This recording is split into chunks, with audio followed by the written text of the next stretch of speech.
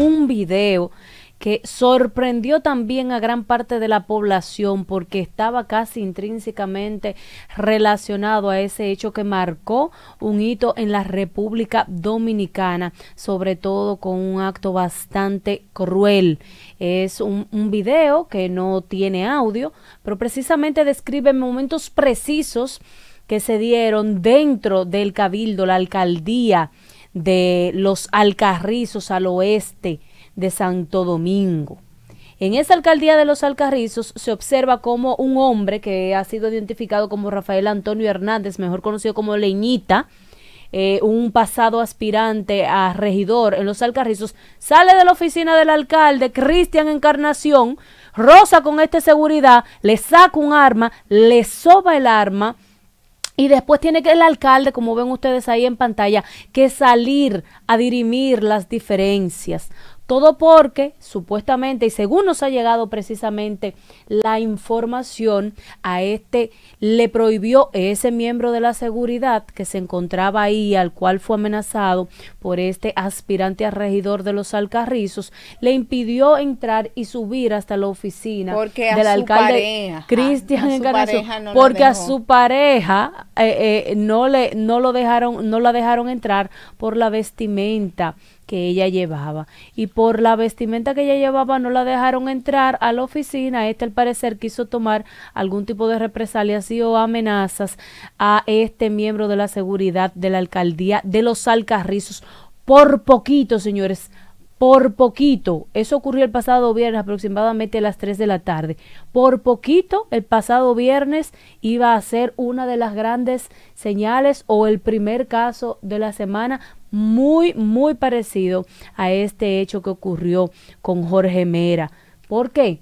porque ahí se dejó pasar a una persona con un arma a una oficina administrativa de una institución del Estado, una institución municipal que debe de servir a los dominicanos por la misma confianza.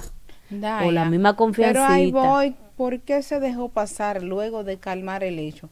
Y no se le llamó a la policía y no se le quitó el arma, porque personas que reaccionen por el más mínimo caso, por este quítame esta paja, para sobar una pistola, es porque no está preparado emocionalmente, psicológicamente no debe de tener un arma. Entonces el señor Rafael Antonio Hernández, área leñita, hay que despojarlo de esa arma de fuego, hay que ver bajo qué condiciones obtuvo esa arma de fuego, porque aquí no se puede estar matando a la gente como que usted está mas- matando mosquitos, señor. Aquí se debe de tener más respeto y más valor a la dignidad humana, a la vida. Esto no debió de pasar. O sea, Cristian Encarnación, el alcalde, debió de haberle puesto una querella, debió de haber llamado a la policía y debió de ponerlo en su sitio en vez de recibirlo. No importa que él es un ex candidato, un ex regidor, porque aquí la ley tiene que ser para todo Para el mundo todos, señores. y tenemos que bajarle un poco a la violencia, porque yo creo que nos estamos volviendo locos. Pero eso es un símil, val- eh, eh, valga todo esto que ha pasado con Orlando Jorge Mera en el Ministerio de Medio Ambiente, de cómo anda la inseguridad permeadas en las principales instituciones de nuestra República Dominicana y como lo decía en ocasiones anteriores en pasados comentarios, sobre todo por ese fraternalismo que caracteriza muy bien a los dominicanos. Ese fraternalismo de es mi amiguito, déjalo que goce de todos los privilegios, incluyendo el no revisar o no ser revisado por los miembros de la seguridad termina en situaciones trágicas. Y esta situación ocurrida en los Alcarrizos pudo terminar de otra forma peor Gracias a Dios, vamos a decirlo así también, que ese alcalde tuvo esa iniciativa de intervenir ahí y llevarlo y quizás calmarlo hasta la oficina, pero como bien dice María, también Pudo haber, debió de- pudo haber terminado en peor, entonces debió. peor. Es que cuando tú Hay que- ser hay que dar un humano no le ejemplo. impones, exacto, no lo pones en una cosa que acción causa reacción y un régimen de causa y consecuencia sigue haciendo. Ese se ve que es un león y que por cualquier lado vive sacando su pistola entonces hay que quitarle la pistola. Hay que quitarle y darle un escarmiento. y darle un escarmiento que sea de ejemplo. Producción, si por favor puede ir buscando una foto de ahí de, de Leñita, eh, eh, regidor o aspirante a regidor. Rafael Antonio eh, Hernández. Yo espero que por él no voten ni su mamá, porque Señores, pero señores, pero es que esto no puede ser. Esto hay que castigarlo ¿Y cómo es posible que usted, porque se crea que usted es dueño de un arma y porque no le dejaron entrar a su esposo un lugar por, por el tema de la vestimenta, usted va a tomar una actitud tan agresiva? Y ahí voy con lo mismo que está diciendo el presidente de la República cuando acudió al velatorio de eh, Orlando Jorge Mera, que es que hay que hacer una inspección en la ciudadanía, una introspección, corrección porque la ciudadanía está demasiado agresiva por un roce de un vehículo, porque tú me topes, porque no me dejaron pasar a alguien. O sea, hay que ver como ciudadanos y hacerte un llamado para que tengan calma, dejar pasar. Mira, es demostrado. Ahí eh, está, señores. Él, eh, él, fue aspirante a regidor de los alcarrizos por dominicanos, ¿eh? de dominicanos por el cambio en la pasada contienda electoral y perdió.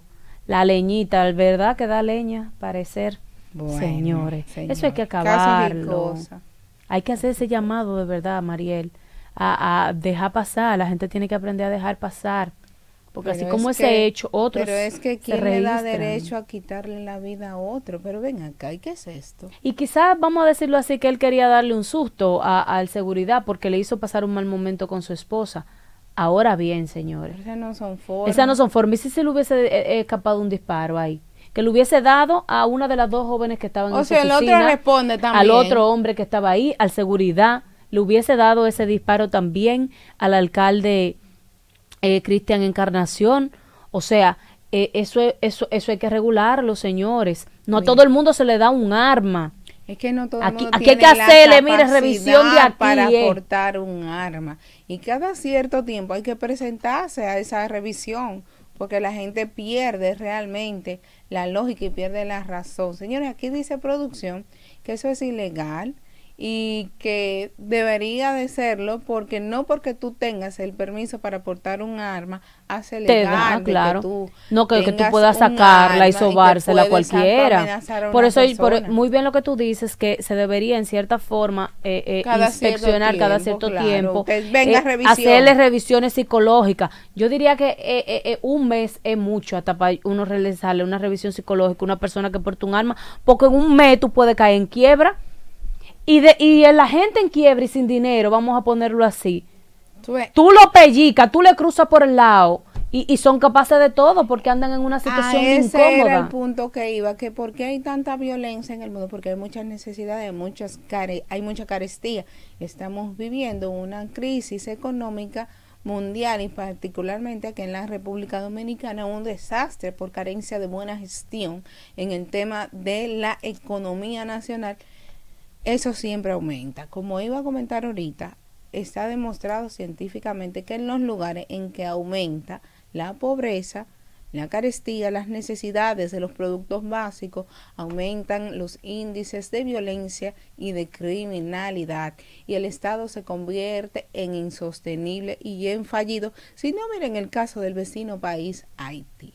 Señores, esto es un llamado de atención a todos los dominicanos, no únicamente al presidente Luis Rodolfo Abinader, sino a cada uno de nosotros que tenemos participación en esta sociedad, en contar hasta 10, en no pagar con los problemas eh, personales. nuestros personales a los lugares donde vamos, en, en tratar de ser prudente y, y, y ver que no queremos para otros lo que no queremos para nosotros. Claro, como usted es capaz de hacerle a otros cosas que usted sabe que no le, no le gustaría que le realicen a usted.